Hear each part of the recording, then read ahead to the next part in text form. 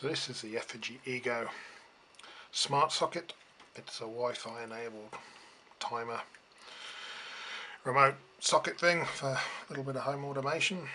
Uh, I work quite long hours so it's quite handy for turning heaters on, turning cookers on, all that kind of stuff whilst you're at work so you can come home to whatever you want. Um, costs around $60 New Zealand. Um, one button off on action uh, plus a smartphone app for actually controlling setting timers and all that kind of stuff. Uh, this is how you set it up. So first off you plug your socket in and you'll see the power button you'll see it, the uh, Wi-Fi Wi-Fi button flashing rapidly so that's it in the setup mode. And you have to come over to your phone. I remember where Play Store is.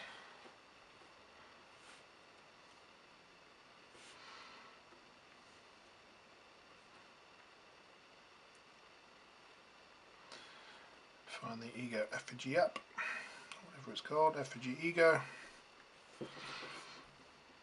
Install that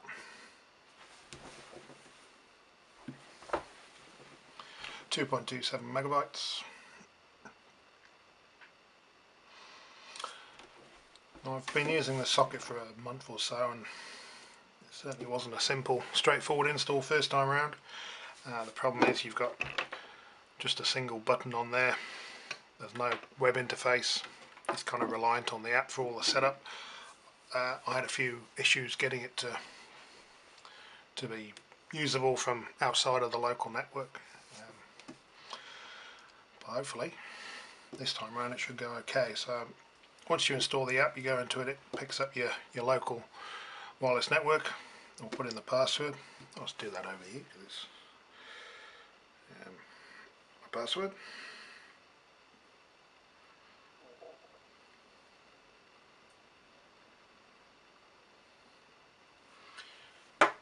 You click on connect and it kind of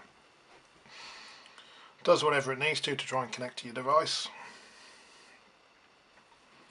Now I've never managed to get this method to work to connect my socket. So as you see at the bottom says if this connection fails please use AP connection.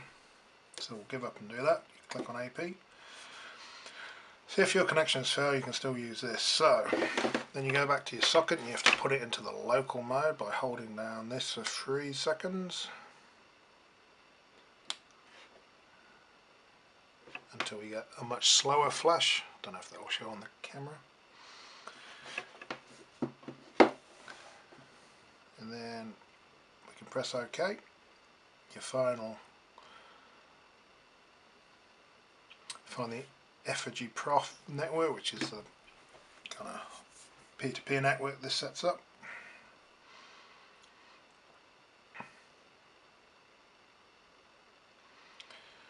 Does whatever it needs to connect. Go back to the app.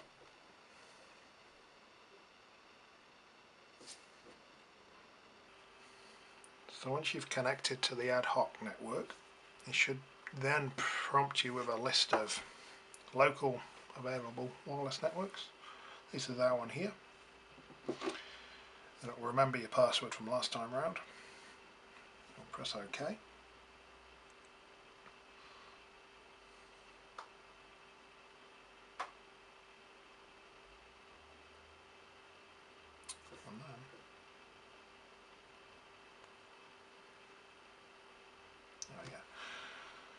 So, shows in your list of appliances. You can have as many as you want oh, it can be up to 20 something like that. So click on setup required. You can choose an icon for what you want to be connecting it to or call this a, a lamp because that's what we're going to play with. You change the name call it a lamp. Location. Table MAC address. That's the only diagnostics you can ever see is just the MAC address of the device if you're looking for the DHCP logs. You can update the firmware from here. We're already up to date, version 28. Maybe by version 70 or so it might be working. So socket defaults to off. To turn it on, press off and on. Yeah, network connection failure. Who'd have thought it?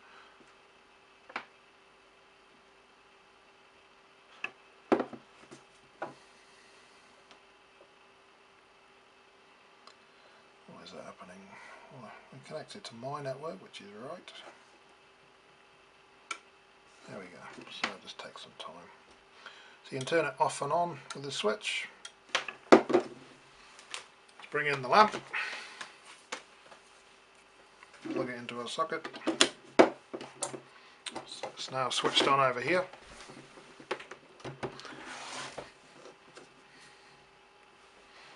If we turn it on here, turn our lamp off and on.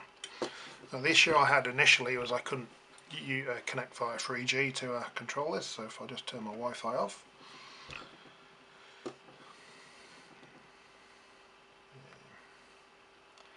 I'm now connecting to connected to the mobile data.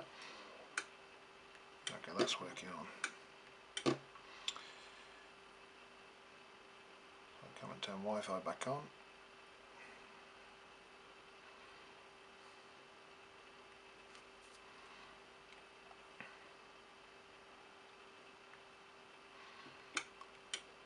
So if you look into the settings of this device it shows you how much power it uses, how much power it's used in a 24 hour period and you can put in some some figures so you can work out cost and all that kind of stuff. It shows you history over whatever time period you want. Timer, you can add some timers. I have a scheduled timer, a random timer, so turn lights off and on when you're out to make it look like you're home a countdown timer so you can get it to turn off after a set period. Uh, again, I had a few issues testing the countdown timers. If I set one now, see what happens. Uh, timer. Add a timer, schedule. Oh no, we'll, we'll do a countdown timer. turn it on first. On. Go into the device. timer. Add timer. Countdown timer. Set it for a minute. Save and exit.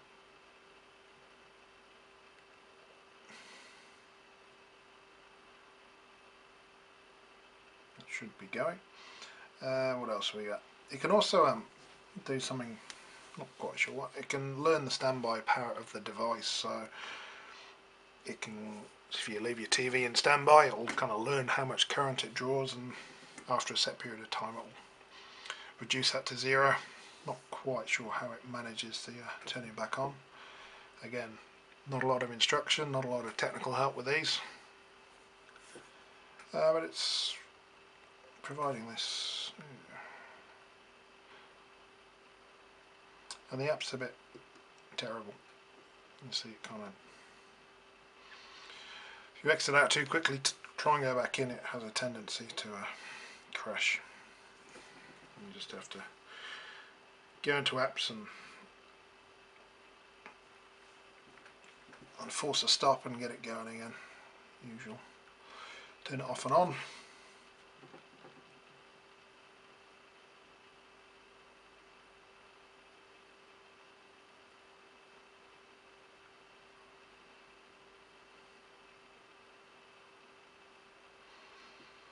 got a timer there. There we go, timer worked. First time I've had that work. Most of the time it just gets to the end of the countdown and doesn't do anything. But uh, yeah hopefully that'll get fixed in firmware. As I say you've also got a ma manual override on the on the switch there. Yeah, so I'm not not too sure if I'll keep going with these ones or look for something different.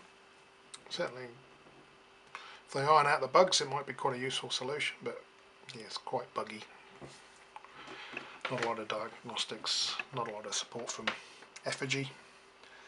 But yeah, it's a tidy compact little unit. I thought, oh, what I paid just under sixty dollars, I think, which um, might probably paid a little bit less with a, but um, yeah, it's kind of not too horrendously expensive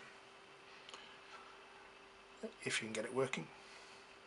I could after some hassle. Uh, you might not be so lucky. It's up to you. Efergy Ego socket. Eventually it does pretty much what it's supposed to. But yeah, not for your amateur